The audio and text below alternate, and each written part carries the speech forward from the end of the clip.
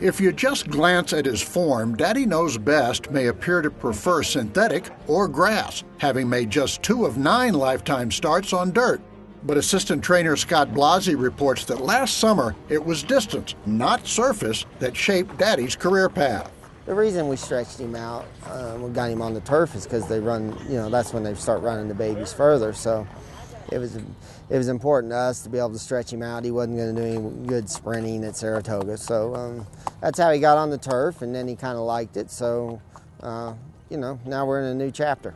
The prelude to this chapter came in the El Camino Real Derby last month. He prevailed in a prolonged stretch duel with multiple stakes placed Lucky Chappie. I, I think they ran hard to the wire. I thought the time was pretty, pretty impressive um, for that time of year, and uh, just hopefully move forward off of that, and he has to handle the dirt.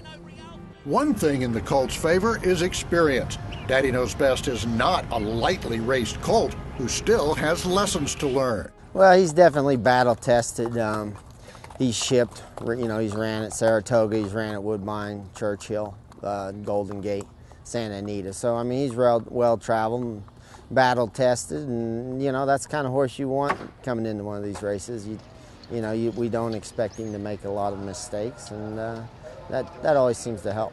If you run well here, you have got plenty of time to recover and have a fresh horse for the Derby, and we've had plenty of racing in him. So, uh, you know, try to try to do well here and go go to the next one. And as we've already seen, Daddy has another great asset, a very prominent nose.